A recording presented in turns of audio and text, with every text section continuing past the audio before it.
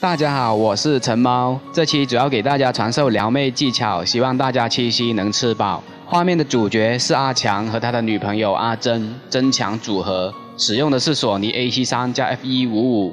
上次五二零那期也是他们。看画面了解男朋友是怎么拍女朋友。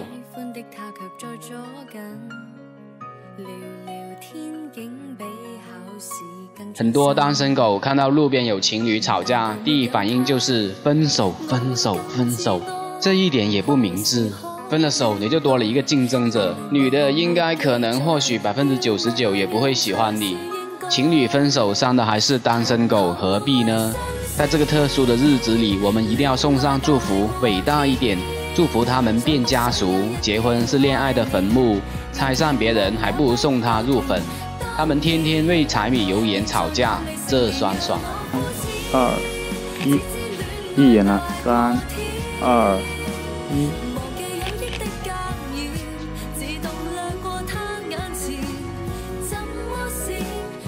牛郎织女的故事可歌可泣，感动大地。不是因为他们很相爱，是因为他们一年见一次，不谈家庭琐事，而一次就是一日。这里涉及到时差问题，科普一下。天上的一日是一百六十八小时，就是七天，一见面就是七天，多少男人都供不应求。牛郎的牛就在于他能满足需求。七夕最恐怖的不是天上的见面，也不是路边的跪舔，而是喜欢的人并不喜欢自己，想约而不敢约。准备啊，三、二、一。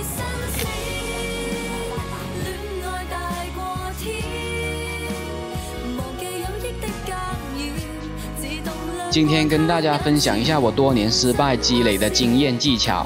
技巧的意思是，如果妹子还不知道你值不值得她喜欢，技巧可以让你的成功几率从百分之一升到百分之十，而不是百分之一百。基本上百分百的靠的都不是技巧，而是知识。单手开法拉利的姿势。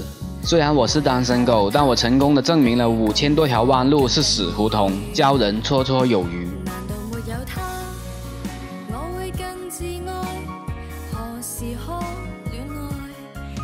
为了方便记忆，先总结陈词：清除障碍和无奈，打探情敌和敌情，不问是否问感受，不谈客观谈主观，提问正与反，感情好与坏在于沟通与关怀。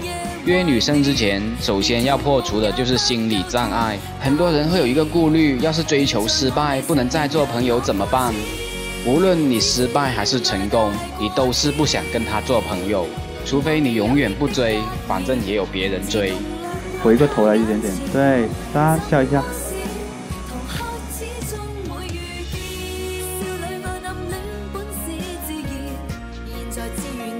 一开始不清楚她是否有男友，就像我之前教的，我约你去看电影，你男友会不会生气？装出很关心男友的样子，打探敌情。当然，对方也知道你的企图，但这听起来很舒服。谁不喜欢和舒服的人在一起呢？大家要知道的是，约会是顺水推舟，不是一日千里。平时就要多沟通，积累感情，不是偶尔买一次双色球就能出奇迹。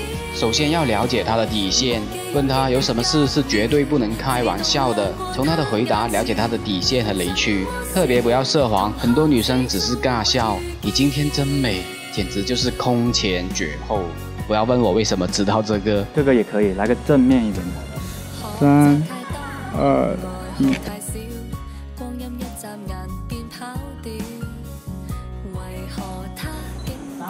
三、二、一。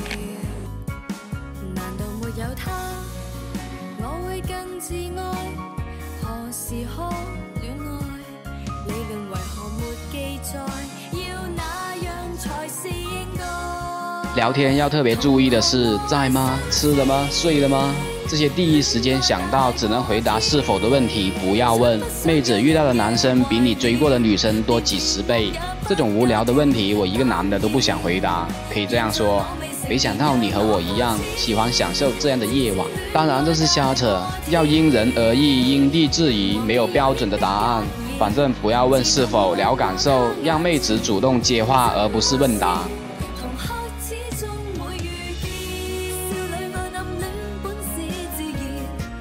不用坐上去也可以。如何夸人也是一个技术活，这里要区分客观事实和主观感受。很多人觉得自己明明夸了对方，为什么还被嫌弃？因为你只是说了客观事实，而他需要的是主观感受。你笑起来很好看，关你屁事！客观事实，我很喜欢你的笑，主观感受。陈猫好骚哦，关你屁事！那应该怎么说呢？我们的文化都习惯隐藏自己的感情，但在喜欢的人面前要敢于表达。再来，三二一。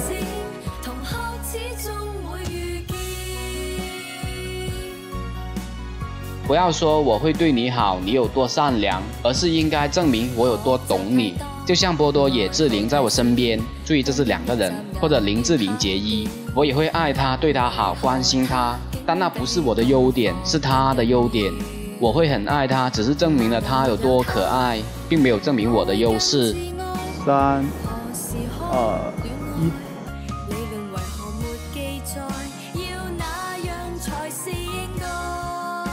聊了这么多，要开始校验结果。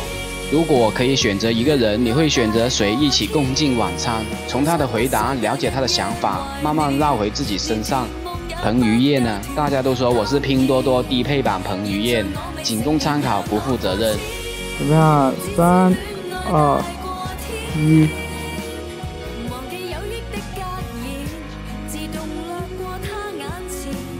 约会除了饭局，最常约的就是电影。很多人都喜欢问别人喜欢什么电影，就像问你喜欢吃什么菜一样，真的没法回答。不讨厌的都喜欢，用自己都不知道怎么回答的问题来问对方，你永远得不到想要的答案。逆向思维，反过来问你不喜欢什么电影，这样就很好回答嘛。我最不喜欢就是日本的画质差还马赛克，什么龙泽萝莉天海翼、吉泽明步麻生希、加勒莱比双飞翼、东京很热万人迷，我一部都没看过。最后总结：追求女生是由浅入深，九什么一生来的？哦，记起了，九死一生。如果你是女生，有人用这些技巧追你，请相信他是个好人，该拒绝的还是要拒绝。